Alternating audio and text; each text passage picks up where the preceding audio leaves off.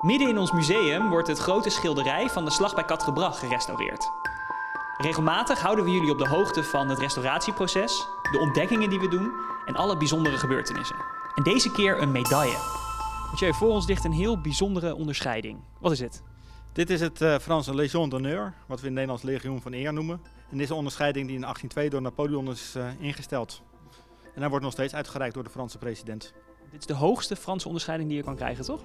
Ja, dit is de hoogste Franse onderscheiding. Je zou hem eigenlijk kunnen vergelijken met de militaire Willemsorde. Alleen deze kan behalve aan militairen ook aan burgers worden uitgereikt. En wat is de link tussen de medaille en schilderij?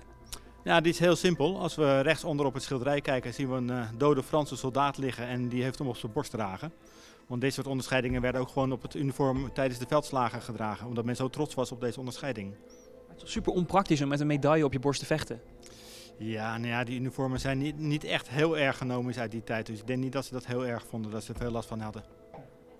En voor wat, wat voor soort dingen kreeg je nou zo'n medaille?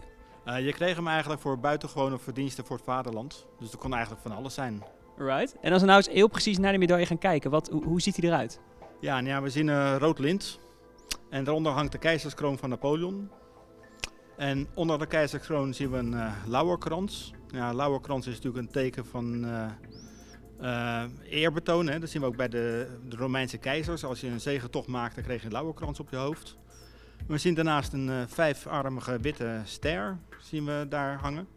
En uh, Napoleon wilde geen vier armen eraan hebben, want dat verwees naar de oude adellijke ridderordes. Hij wilde per se vijf armen eraan hebben om het te onderscheiden. En in het midden zien we het portret van Napoleon. Een mooi portret met een lauwerkrans om zijn hoofd, net alsof het een Romeinse keizer is. En eromheen staat een tekst. En moet ik even goed kijken wat erop staat. Napoleon, empereur des Français. Dus Napoleon, keizer van de Fransen. En staat tegenwoordig ook nog steeds Napoleon op de, op de onderscheiding? Nee, afhankelijk van wie er aan de macht was in Frankrijk zijn er verschillende ontwerpen voor de voorkant gekomen. En bijvoorbeeld de Nederlandse soldaten die deze hadden gekregen tijdens Napoleon-tijd, die mochten hem ook doordragen na 1815. Alleen de voorwaarde was wel dat het portret van Napoleon uh, weg was. Want dat mocht niet, dat ging te ver. Dus als je voor Napoleon gevochten had en daarna weer voor Nederland ging vechten, mocht je nog steeds die onderscheiding dragen?